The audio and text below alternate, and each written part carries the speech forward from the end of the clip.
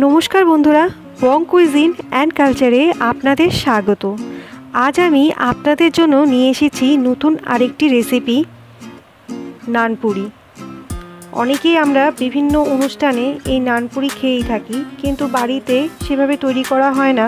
এ কারণে যে খুব ঝামেলার মনে হয়, অথবা অনেকেই বাড়িতে তৈরি করেছে, কিন্তু সেরকম মন মতো হয়নি। তাদের জন্য আজকে আমার এই রেসিপি খুব সহজভাবেই আমি এটা আপনাদের সঙ্গে দেখানোর চেষ্টা করেছি। খুব ভালো হয় খেতে, খুবই নরম হয়। আপনারা নিশ্চয়ই বাড়িতে ট্রাই করবেন। আর চলুন তাহলে শুরু করা যাক রেসিপিটি উপকরণগুলো দেখিনি নিয়ে নিয়েছি ময়দা, নুন, স্বাদ মতো, চিনি রিফাইন তেল দুধ। আমি এখানে এই বাটিতে কিছুটা ঈষদুষ্ণ গরম জল নিয়ে তাতে ইস্ট মিশিয়ে নিচ্ছি। এখানে ওয়ান টিস্পুন ইস্ট আছে। এই ইস্ট আপনারা যে কোনো গ্রসারি দোকানে পেয়ে যাবেন। এর মতন মানে এভাবে রেখে আমি মিনিমাম দু মিনিটের মতন রেখেছিলাম। এরপর আমি ময়ম দিতে চলে যাচ্ছি। নিয়ে নিয়েছি ওয়ান টেবিল স্পুন চিনি। স্বাদ মতো নুন, সামান্য খাবার সোডা সব কিছুকে একটু মিশিয়ে নিচ্ছি। তারপর দিয়ে দিচ্ছি দু টেবিল চামচ পরিমাণ রিফাইন তেল ময়ম দেওয়ার জন্য।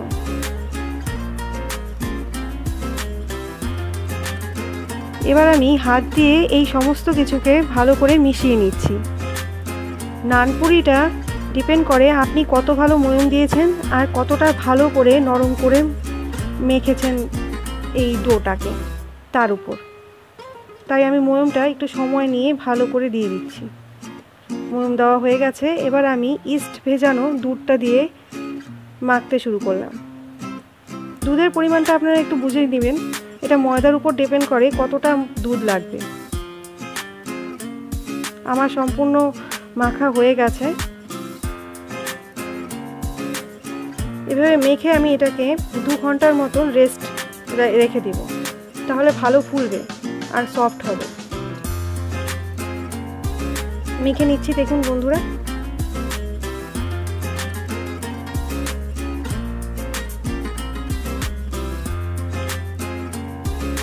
মাখাটা আমার কমপ্লিট হয়ে গেছে। দু ঘণ্টা রেখে দিয়েছিলাম একটি এয়ারটাইট কন্টেনারে এবার বের করে নিয়ে আর একটু মেখে নিচ্ছি। মেখে নিয়ে এর থেকে লেচি করে নিচ্ছি।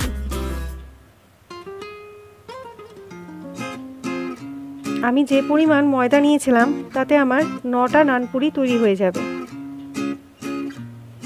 নানপুরিটা সফট হওয়ার খুব নরম হয়, যদি আপনি ঠিকঠাক এটাকে তৈরি করতে পারেন। এটা সকালের খাবারে খুব ভালো যায়। জলখাবারে যদি নানপুরি থাকে, তাহলে যে কোনো কিছুর সাথেই এটাকে সার্ভ করা যায়। হাতে একটু রিফাইন তেল বুলিয়ে নিয়েছি, এবার এগুলোকে একটু গোল গোল করে শেপ দিয়ে নিচ্ছি। ডাল মাখনি, যে কোনো নিরামিষ সবজি, মাংস, তারপর তরকা ডাল, আপনার যেটা ইচ্ছা হয় সেটার সঙ্গেই এই নানপুরিকে সার্ভ করতে পারেন।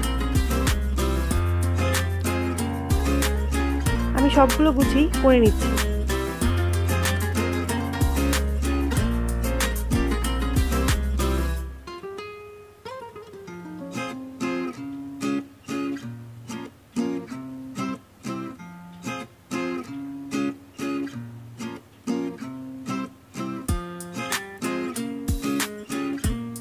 আমার সবগুলো নানপুরি লেচি করা হয়ে গেছে।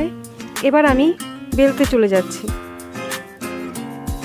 একটু তেল বুলিয়ে নিয়ে বেলতে শুরু করলাম। মিডিয়াম সাইজের করে নিচ্ছি, খুব বেশি বড় করব না।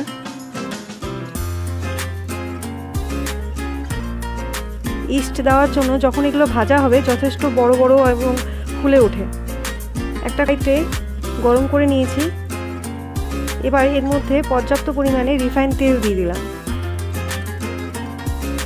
রিফাইন তেলটা গরম হয়ে গেছে, এবার আমি নানপুরিগুলোকে ছেড়ে দিচ্ছি। আঁচটা মিডিয়ামে রেখেছি। মিডিয়াম আর হাইয়ের মাঝামাঝিতে একটু চেপে চেপে পুরিগুলোকে আমি ফুলিয়ে নিচ্ছি। দেখতে যেমন সুন্দর হয়েছে, খেতেও তেমন দুর্দান্ত হয়েছে। আপনারা নিশ্চয়ই বাড়িতে ট্রাই করবেন। আর কেমন হয় সেটা আমাকে কমেন্ট করে জানাবেন। এভাবেই আমি সবগুলো নানপুরি ভেজে নিচ্ছি। আপনাদের ইচ্ছে হলে আপনারা একটু কম ভাজতে পারেন, তবে আমার এভাবেই বেশি ভালো লাগে। এবার আমি এগুলোকে সার্ভ করে দিচ্ছি। আমি এক তারকার সাথে এটাকে সার্ভ করেছি। আপনাদের যেটা ইচ্ছে হয় আপনারা তাদের সাথে তার সাথেই সার্ভ করতে পারেন। আর আপনাদের যদি আমাদের চ্যানেলের ভিডিওগুলো ভালো লাগে, তাহলে আমাদের চ্যানেলকে লাইক শেয়ার এবং সাবস্ক্রাইব করবেন। আর নিত্য নতুন ভিডিও পেতে হলে আমাদের চ্যানেলকে ফলো করুন। আপনারা নিশ্চয়ই এটা বাড়িতে ট্রাই করুন। আমি নিশ্চিন্তে বলতে পারি, একবার খেলে আপনাদের আবার খেতে ইচ্ছে করবে। খুবই সুস্বাদু এবং খুবই নরম তুলতুলে ধন্যবাদ।